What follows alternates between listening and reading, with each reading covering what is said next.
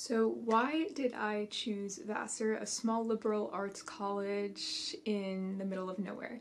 So hello and welcome back to my channel. In this video I'm going to be talking about the reasons why I chose Vassar and perhaps maybe some of the reasons why you should consider Vassar or the reasons that you shouldn't consider Vassar depending on your personality. So the predominant reason that I was interested in Vassar was the fact that there was no core curriculum.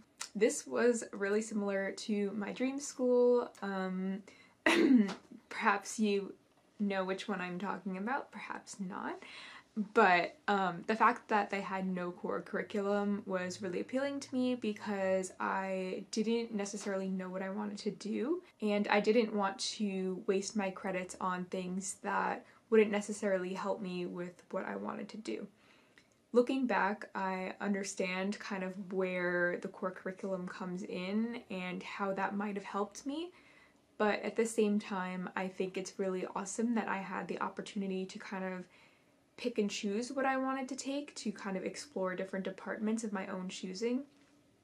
Um, I kind of wish that I had given the core a little bit more consideration because some core curriculums are a little bit more free in that you can choose which kinds of courses you want to take in certain like requirements. So so if there's like a social science requirement, you could take any social science course, um, something like that. So I wish I had given a little bit more thought into general core curriculums um, that were a little bit more liberal, but Vassar doesn't have any core curriculum at all. The only requirements that it has are a first year writing seminar, um, which is offered by pretty much every single um, academic department, and you can take pretty much anything that you want. There's also some really cool ones offered. So the one I took was about plagues in history. Um, that was during like the first year of the pandemic, so it was very relevant, and I thought it was really interesting because we looked at like bubonic plague texts and how they were dealing with um, the plague in that era and how things are the same or different. There's also classes on like volcanology and um, archaeology. I don't know, there's like really cool ones out there. Um, so you have a lot of flexibility with that. The second requirement is a language requirement, so you can, if you took a language in high school and you had AP credit, you can just use that.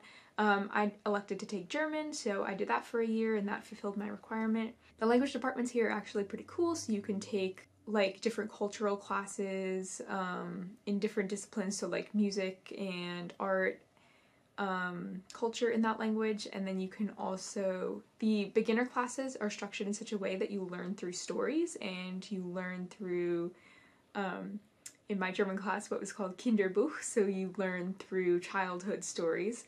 And um, at the end of the class um, for German you um, basically wrote your own children's story and you presented it to a local German school um, for children which was really cool.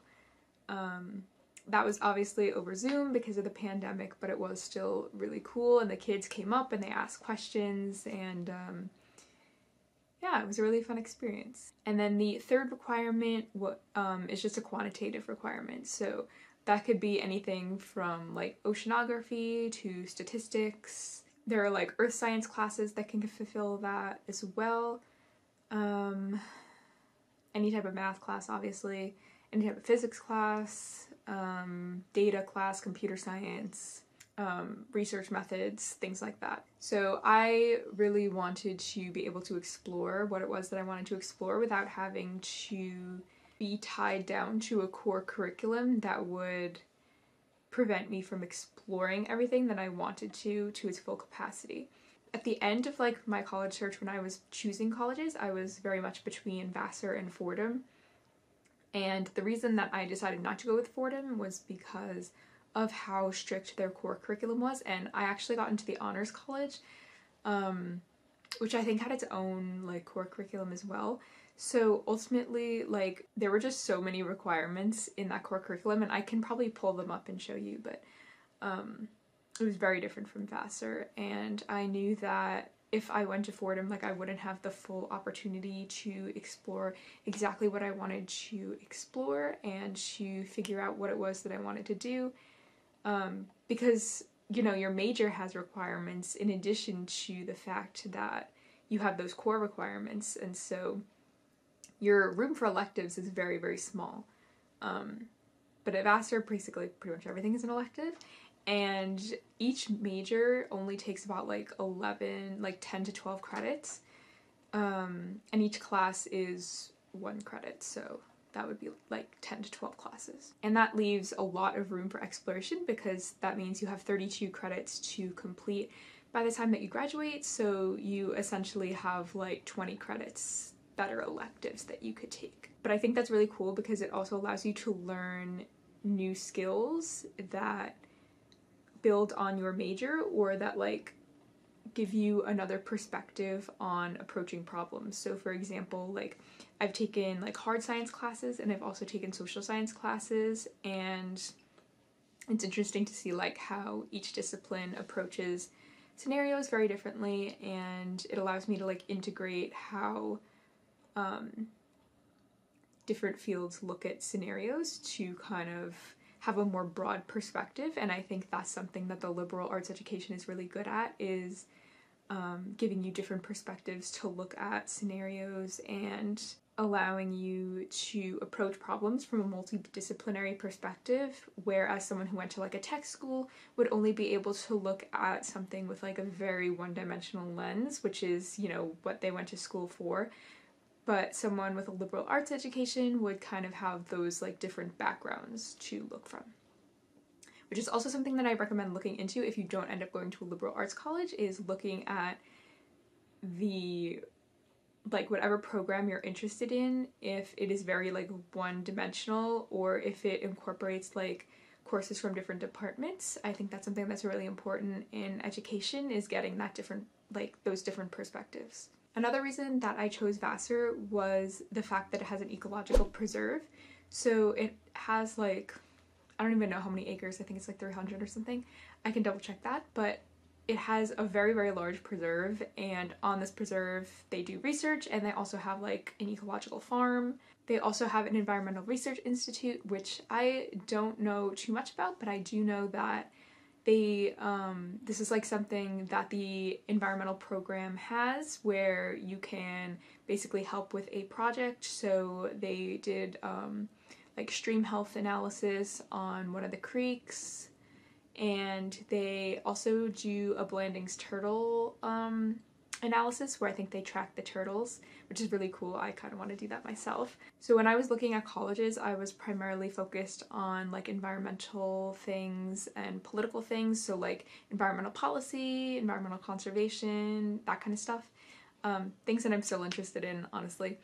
And um, the fact that they had a preserve like right on campus was really, really attractive to me and I really wanted to do research there and I thought it would be a great opportunity for hands-on research. In reality though, the farm and like the preserve are kind of far from campus. Like it's not like very far, but it is like a little bit of a walk and it's not as easy to do research as I thought, which again, this might just be how I went about it, but I um, tried to apply for like a job there and um, it didn't work out. I am work for, working for the sustainability office now, and a lot of the jobs there are just focused on like education programs for the local school, which is great, but that's not really what I was interested in. Um, so in reality, it has been harder to get involved with that, and it's still something that I'm struggling with now um, as a sophomore. Also, the preserve is kind of like I haven't even seen the whole thing because um, in order to see it, it's like, like I said, it's very far. So I have not walked on it, but um, the parts that I have seen, um, it's a little bit like dilapidated. So um, yeah, like it's not necessarily what I thought it would be. And so I definitely recommend like reaching out to students and reaching out to faculty and seeing what the opportunities actually are for students who are interested in like ecological research and things like that. And that just goes with any school and any program that you're interested in. Like reach out to students and see what they're actually saying and what they think of the program. The third reason that I chose Vassar was its small student to faculty ratio. And um, so Vassar has a student to faculty ratio of 8 to 1, which is very small and I really wanted to develop relationships with my professors because that was something that was like really important to me. I, you know, I'm paying all that money and I want to connect with the professors. I want to learn from them and anytime that I've had like a really amazing class in high school, I I developed like a really good relationship with the teacher and so that was something that was like really important to my education was feeling connected to the professor and um, it just allowed me to like learn more and be more engaged. The Vassar faculty are definitely like more accessible than probably other faculty. They always have open office hours and they um, are always willing to talk with you and in fact a lot of them make it mandatory to meet with them just because they want to get to know you. So that's been something that's good. Um, a lot of my classes have actually been, I want to say probably around 20 students. Um, and then I did take an intro bio class in which I was, um, in which there were about like 90 kids, which is probably one of the largest classes at Vassar. Um, but even still, like, the professor still knew my name, and I was still able to make meaningful connections with the professors. Not as much as, like, you know, I would have hoped, but, um, like, I didn't feel lost. And yeah, I kind of had this idea that all the classes would be, like, super small, but that's definitely not the case. Um, all my classes are probably high school sized, and except the bio class. Yeah, I mean, as I move up the ranks, maybe they'll get smaller. Um, but so far, that is my experience. And kind of related to that, another reason that I chose Vassar was the small student body. So there are about 2,435 students. I got this number from the 2020 to 2021 data. And so I thought this was really good because it had that community feel and I would be able to make connections with people, recognize them on campus, and um, I didn't want to be part of like a very large campus, like a city kind of feel, because I knew that I would probably get lost and I don't know, I just wanted that community um, feel. I wanted that like school spirit. What I realize now is that being in a large school might afford you some benefits because there are more connections to be made and more people will go to clubs and there'll be more people at events and there'll be more events in general. Um, school spirit also tends to be higher in those bigger schools just because there's more students and there's probably bigger sports teams. I don't know. I feel like the fact that I chose a small school, um, it's not that I necessarily regret it, but I do wish that I had given consideration to some bigger schools as well. Like Northeastern was a school that I was considering at the end, and you know, they have a very large student body, and I just felt like I would be part of a city, and um, I don't know, looking back, maybe that's not such a bad thing because there's a lot more opportunity to be had in that circumstance, and um, I mean, it's nice to recognize people, but I feel like at Vassar, like there isn't a lot of engagement with clubs and friend groups tend to be based around sports and outside of that it is quite hard to make friends and yeah, I think that's just something that comes with being at a small school. Um, I don't know, there's pros and cons to both, so it ultimately just depends on your personality and what you want out of a school. Um, I can make another video talking about the pros and cons if that's something that you would like, but for now, I will leave it at that. Another really important reason that I chose Vassar was the fact that there were no graduate students. Um, like, there are absolutely zero graduate students at Vassar. And so what this means is that undergraduate students have free reign over all of the research opportunities, and undergraduate students are able to make more meaningful connections with their professors. Um, it also means that the professors are more focused on teaching rather than research because what you see at a lot of institutions is professors who really just want to do research and you know they recruit their graduate students and they do research and they're not really they don't really want to teach. And so you end up getting those professors who are less focused on teaching and aren't the best teachers.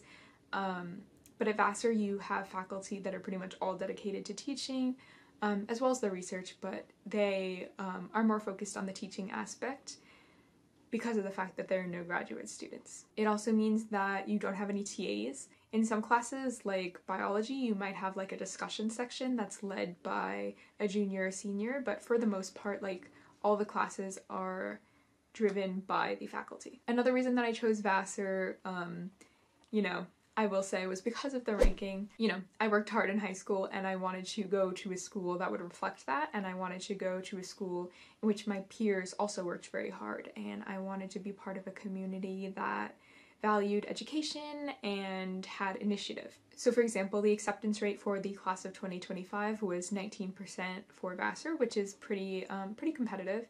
You know, it's not Ivy League competitive, but it's um, relatively selective. Vassar is ranked like within the top 20 universities in New York.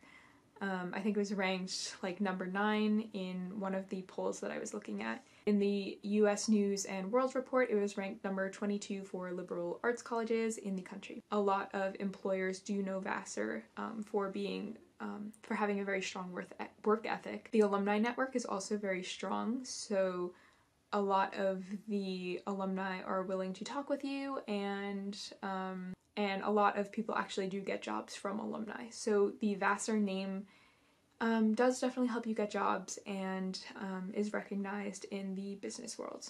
And the fact that it's a liberal arts college, I think, also lends it um, credibility in the job market because employers want um, people who are diverse and they want people who have different perspectives and they don't just want someone who is you know one dimensional um, they want someone who can contribute to a project in diverse ways that someone else couldn't. And i think a liberal arts education definitely affords you that. And what i've heard from a lot of alumni is that the liberal arts education especially vassar's education um, with its focus on writing is really important and lends you a lot of opportunities because employers will recognize the fact that Vassar is known for its strong writing. Also, Vassar is very suburban, so it I chose Vassar because it wasn't like in the middle of a farm um, in a rural place like um, I, was looking at one college in like I think it was Idaho or Iowa and it was kind of in the middle of nowhere like cornfields all around, and um, I remember reading reviews that were like, you're pretty isolated here, and I didn't necessarily want that kind of experience. Um, but at the same time, I didn't want to go to a place like NYU where it was like in the heart of a city because I wanted that intimate campus feel, like I said. Again, looking back, I kind of wish I had looked at looked more closely at schools in like um, maybe DC or Boston, like I don't think that would have necessarily contributed to less of a campus feel, but I do think it would have contributed to a nice college town. Um, and so that's just something that I wish I would have looked into a little bit more. So Vassar itself is in Poughkeepsie. It is, it has like a small college town. It's like college town.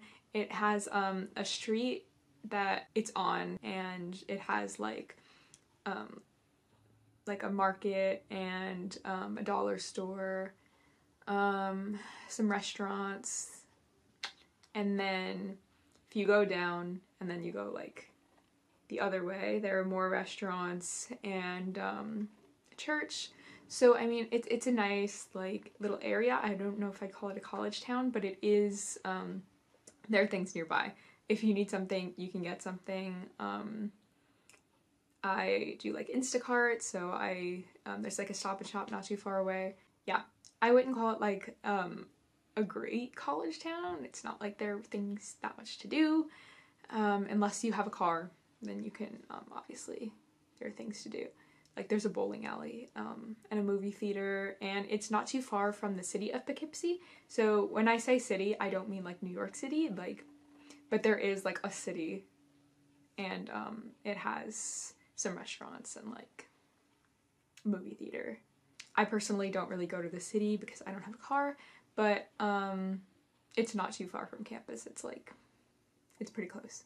Also, um, it's right near the railroad, so I'm able to just take the railroad home um, if I want to. The final reason that I chose Vassar, and this is something that I really do not recommend that you use in your college search, your college decision process.